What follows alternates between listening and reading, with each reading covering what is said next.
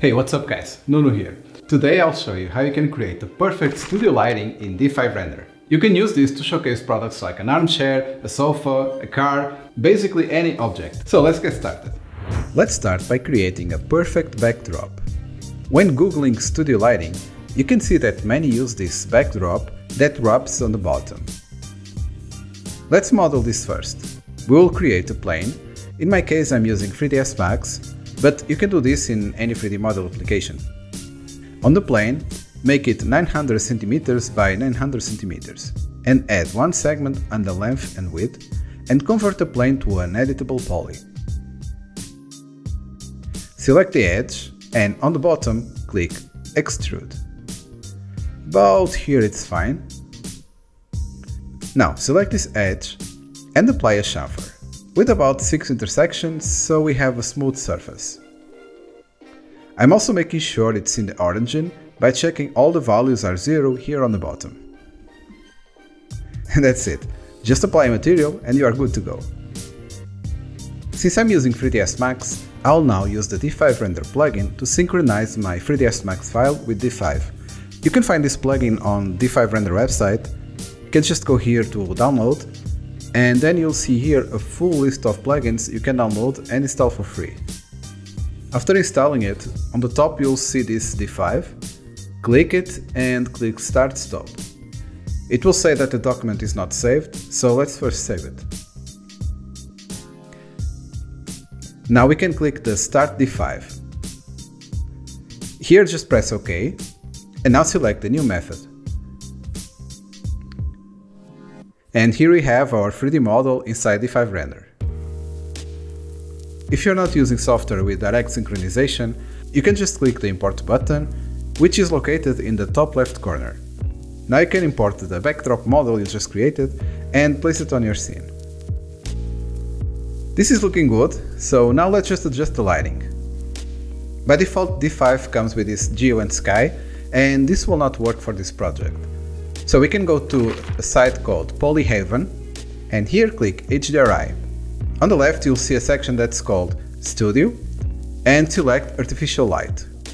I'm going to select this one, Studio Small 09. The 4K is more than enough for this project, so let's go with this one. So let's select HDRI. Click on the drop down and select Customize HDRI. Select the one you just downloaded.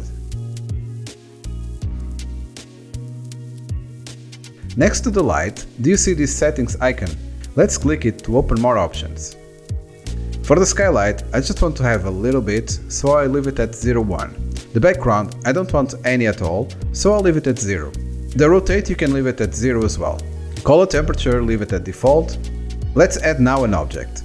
I'm going to select one from D5 Render Pro library. If you want to use the same as me, search for Modern Leather Dining. Let's place it around here In the camera settings, I'll add a value of 30 on the field of view. Find the best place for your camera and after you are done, just press F8 to enable the two-point perspective, which makes your vertical line straight. I always disable the auto exposure, so this way I have more control over the lighting and it's not updating all the time. Now, on the top left corner, click on the Add Scene button to store all the settings we just did. You should have something that looks like this. Not flattering at all. Let's first add a color to this backdrop by pressing the I on the keyboard to call the material picker, and then clicking on the model. Now, on the right side panel, I'm going to leave all the settings by default, and I'll just select a color. Here you can be creative and select which one you like most. Head over to Effect on the top right corner, and on the exposure let's make it negative 02. For the contrast make it about 01 and here on the bottom I'll add 0.2 on the bloom. And we are done with the effect tab. Now we need to add some lighting. We'll use rectangular lights for this project and use the three-point lighting technique. This is a very popular lighting technique in which you place the lights at about 45 degrees from the subject. You have one key light, a fill light and a rim light. The key light is the most important light, it's the main light source for the scene. The fill light is used to open up the shadows Ideally, fill light doesn't have its own shadow as it's a little bit less intense than the key light. And the rim light is a light that works to outline the subject and separate from the background. Go to lights on the top and select the rectangular light. Now go to the top view by pressing T on the keyboard and set it to about 2 meters from your subject at a 45 degree angle. I will set the intensity to 50 and here on the radius to 630 and leave the temperature at 6500 Kelvin, which is daylight temperature. Now switch to perspective view and place your light at about this level and rotate it around 60 degrees on X. Moving on to the fill light, we can duplicate the key light and add it on the opposite side of the key light. You can move it a little bit further from the subject and set the intensity to 10 and radius to 500. As for the color temperature, you can set it to 3200, which is warmer than the key light.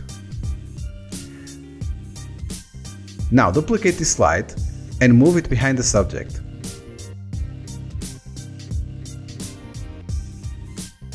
Place it higher. As for the intensity, set to 60 and color temperature to 12,000. This will make this light cooler in contrast with the fill light. And right now this is what we have. It's already looking great, but we'll add one last light facing the backdrop so we can have a better infinite background. Add this light about here on the side, facing the backdrop, and rotate it in a way there's almost no light casting on the subject. Set the intensity to about 115 and radius to about 1000 and let's leave the color temperature to the default values. This looks great, but there is one last thing we need to do. It would be nice if the rim light only gives light on the subject and not on the backdrop. And D5 Render already has this in their roadmap to select which objects a light casts on. But for now, since we cannot select that, we will do it in post-production. And before we continue, I would like to let you know that you can sign up for my D5 Render course. I'll leave a link in the top right corner and in the description below this video. So let's save this scene by clicking this icon and call it Studio 1. Now let's disable the rim light and save a new scene. Rename it Studio 2. Now click back on the Studio 1 scene and let's take a render by clicking on Image.